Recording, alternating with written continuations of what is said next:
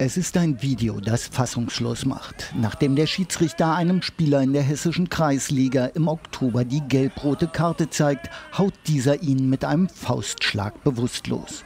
Das Spiel wird abgebrochen. Der 28-jährige Schläger wird vom Gericht wegen gefährlicher Körperverletzung zu einem Jahr und drei Monaten Haft auf Bewährung verurteilt. Wir sind sehr zufrieden mit dem Urteil und es, sollte, es sendet ein klares Signal, finde ich, dass man, ähm, ja, dass es eben kein rechtsfreier Raum ist, ein Fußballplatz und dass der Rechtsstaat da auch noch seine Hände mit im Spiel hat. Noch vor dem Urteil hatte sich der Spieler bei Nils C. entschuldigt, er schäme sich für seine Tat. Der Schiedsrichter nahm die Entschuldigung an, sein Leben hat die Attacke trotzdem verändert. Ausübung der, der, der Schiedsrichtertätigkeit, die kann er seit diesem Vorfall nicht mehr äh, kann er nicht mehr ausüben und äh, das fällt ihm natürlich schon schwer.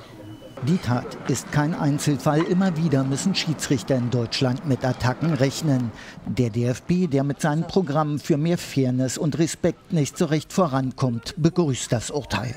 Das ist ein richtiges und richtungsweisendes Urteil, denn es verdeutlicht, wer Schiedsrichter tätig angeht, muss mit ähm, deutlichen Strafen rechnen. Der völlig unerwartet kommende Schlag gegen den Kopf war laut der medizinischen Gutachterin im Prozess lebensgefährlich für den Schiedsrichter.